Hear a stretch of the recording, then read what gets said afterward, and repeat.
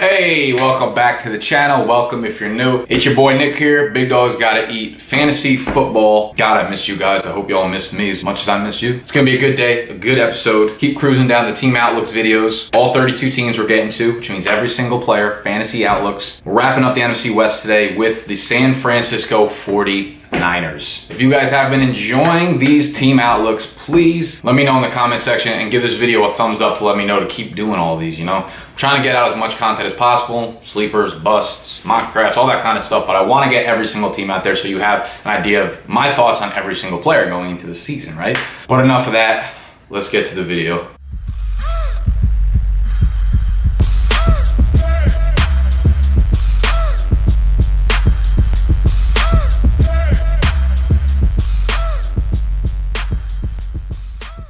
So without a doubt, the biggest move in San Francisco this offseason wasn't even a player. It was taking Kyle Shanahan, RFP, from my Atlanta Falcons and hiring him as their head coach, looking to switch things up, looking to head in a new direction. The team as a whole, their offense is pretty much without direction, right? They signed Brian Hoyer this offseason as well as Matt Barkley. Hoyer's basically already been anointed the starter there. Not a great quarterback, not a great real life quarterback or fantasy quarterback, obviously, but he's tasted glimpses of success throughout his career in fantasy, something Matt Barkley really hasn't. When you look back at last year, very small sample size, but from week three to week six, four game span, Hoyer threw for over 300 passing yards in all four games, a 6 to 0 touchdown interception ratio, and completed 72% of his passes.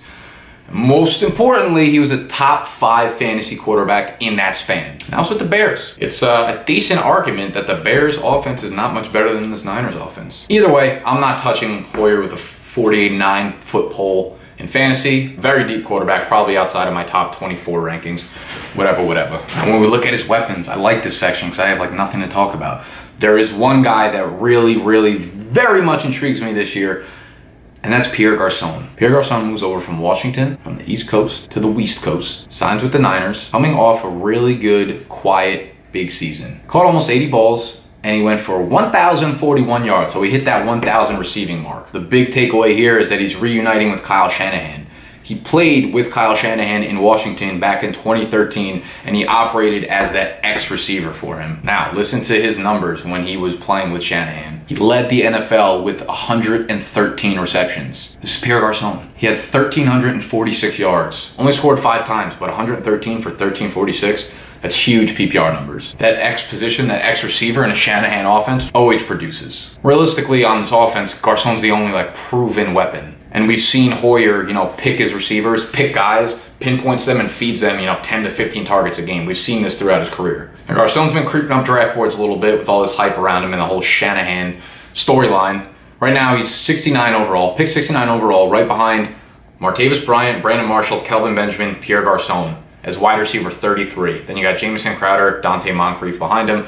I think that's just about right. His floor is really high. Like I said, he's the only receiver there. He should see 110, 120 targets in that offense, which should be really, really good PPR numbers. He's one of my favorite sleepers going into 2017. Not a, not a high touchdown upside, obviously, but the PPR numbers should be there. And the next up on the on the depth chart, I guess you could say, is Jeremy Kerley, running out of the slot. They re-signed him to a three-year, about $10.5 million contract this offseason. He actually led the team in catches with 64 and receiving yards with 667 in 2016. I think Garcon is going to eat up a chunk of those targets over the middle, and I think Kerley is going to dip pretty low considering how Kyle Shanahan's offense runs. They do a lot of play action and they don't funnel the ball into the slot. I mean, think of think about the Falcons last year. They run the ball a ton, a lot of screen passes to the running backs. They use Julio on the outside. They use Mohamed Sanu a lot. They didn't they barely ever use utilize the slot game. Kerley's number, I think, takes a big hit. Kerley's not even fantasy relevant, but other than those two guys, well, so they signed Aldrick Robinson from the Falcons, which is interesting because Kyle Shanahan obviously was with the Falcons last year, and maybe you see something in Aldrick Robinson as a deep threat. That's what he was for the Falcons. Nothing there, wouldn't take him. And then you have Bruce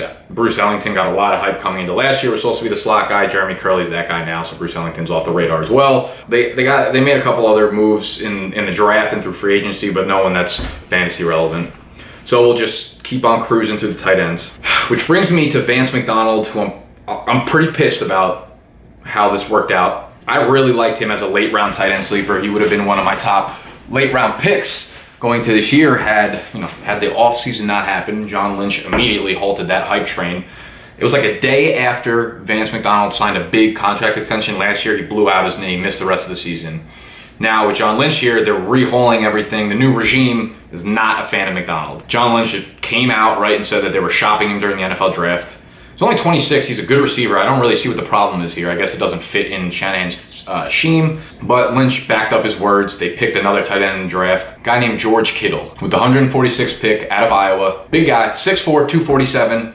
Runs a 4'5", 240. That is, if you're unaware, that's really fast for a tight end. So he's a really good athlete. Just one of those guys that fits the, the mold of a good athlete, good tight end, catches the ball, can run well, good size. The physical biography is there. And reportedly, he's been getting a lot of the first team work at OTAs and gaining pretty good rapport with uh, Brian Hoyer. So it looks like Vance McDonald's out of the picture. It looks like George Kittle kind of puts himself on the map to, you know, in that late tight end two discussion as a, as a possible sleeper, given that there's no real weapons there. Uh, there's, there's not a lot of upside here, though just as the offense struggles as a whole. So George Kittle, someone to keep an eye on in Dynasty, Keeper League, something like that. So one of the more tricky, I guess, uh, situations in the running back sphere for fantasy purposes is the Niners backfield.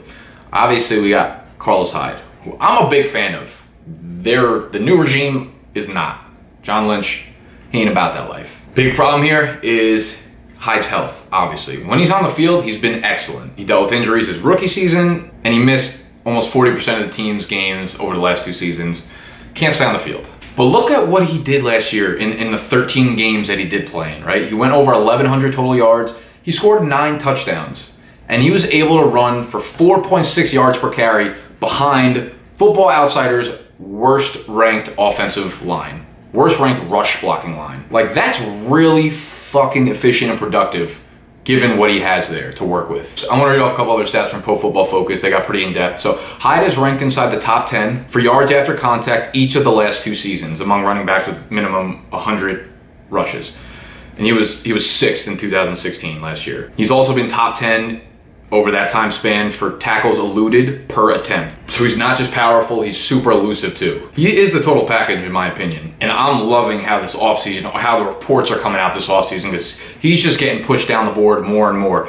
This ADP right now, he's running back 17 off the board at pick 49. In a 10 team league, that's almost the sixth round. Just crazy to me. Niners are concerned he's not going to fit Kyle Shanahan's scheme that well, but I'm not really concerned because I think his skill set would fit any any offense. He's just 25 years old. He's got that clear-cut RB1 upside. On a points per game basis, fancy points per game, he was top 10. He was the top 10 running back last year. So I get the concerns, I really do, but where he's being priced, the upside is so high doesn't make sense not to at least consider taking him in the fourth to fifth round. And I feel like by the time drafts come around, he'll probably be going within the 30 to 35 range. But that's not where, you know, that's not where this storyline ends. They added a few backs this offseason. They cut DuJuan Harris, who was pretty effective for them last year, but they signed former Saints running back Tim Hightower, who had a really good year with them last year with the Saints in 2016 and uh, it's, it's, definitely more of a depth thing for Hyde in case he gets hurt. But the interesting storyline here is the rookie running back that they drafted, Joe Williams out of Utah. This is one of the more intriguing storylines of the entire offseason, let alone the NFL draft. So listen to this kid's history, right? He's 24 right now, he's gonna be a rookie. GM John Lynch completely took him off the draft board. This guy Joe Williams. His freshman year at UConn, he was expelled for theft. Then he spent two years at ASA College in Brooklyn, sophomore, junior year, and he eventually transferred to Utah and played his last year at Utah, but he retired from football that season in, in September. Said he didn't want to play anymore, came back to the team a month later. So this kid's all over the place. Mentality, I, I don't, I don't, I don't know what went through his head, but the new head coach, Kyle Shanahan, loved him. Thought he would be the tremendous fit. A lot of reports are saying that he sees him as the new uh, Tevin Coleman in this offense. So Shanahan was able to convince Lynch to put him back on the board, then trade up for him in the fourth round. They took him in the fourth round, pick 121 overall. Crazy story there. The kid's 5'10", 5'11", about 210 pounds, so a good size. Runs a 4'4", 140, so really good breakaway speed, just like Tevin Coleman. He actually had the second best weight-adjusted speed score in the combine among all running backs, behind only Leonard Fournette. So he does have a very similar playing style to Coleman. What kind of worries me is he's had fumbling issues throughout college. He also dropped five of his total 27 targets in college not a great pass catcher, something that was a huge part of Tevin Coleman's game. So there have been a ton of articles. A lot of people love Joe Williams. There was like a report that they that some beat writers said they wouldn't be surprised if Joe Williams started the season over Carlos Hyde. I think that's fucking ridiculous. I think Joe Williams is a product of you know, nowadays there's there's articles about every single rookie running back in the draft and, and about how they're going to be the starter on their respective team. So I think Joe Williams is a product of just too much rookie running back hype and too much buzz.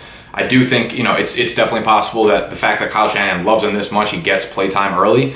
It's definitely still Carlos Hyde's backfield to lose, though. There was another report that just came out. This guy, Matt Breida, B R E I D A, uh, he's an undrafted free agent and uh, supposedly he's been making a lot of noise in camp and has looked better than Williams. So you know, I, I don't know. It's it's definitely a backfield up for grabs. I think Hyde for me is definitely that guy. If he's going to be going anywhere past pick 35, I think he's a great value. Um, obviously, the scoring upside's not really there, but it's even hard to say that considering he scored nine touchdowns in 13 games, right? So if, if he could be that featured back, if he could stay healthy, he's definitely a risk reward pick. Um, but if you you know if, if you grab two players who have been two or three players that are that are very risk averse in the first few rounds, and and you're looking for you know you go three wide receivers and you're looking for a high upside running back, Carlos Hyde could definitely be that guy for you. So I'm on him. I really like Hyde again this year, and uh, I'm not going to reach for him given the risk, but if he drops to a good value, i I'll be all over that. I like to add in a little question at the end to get the engagement, get some comments flowing. So if you had to pick one running back straight up, half point PPR do you want Carlos Hyde, CJ Anderson, or or Eddie Lacy? How's that one for you? Get to pick one of them straight up, no ADP, no value. Just want to know what your thoughts are. I'd go Hyde, probably Lacy, and then Anderson. Now to wrap up the vid. Hope y'all enjoyed. If you did, make sure you give it that thumbs up as always. Follow me on Twitter, subscribe to the blog, and uh, subscribe to the channel, obviously, if you're new. And we'll be coming at you all off season, throughout the season as well. I'll see y'all homies next time.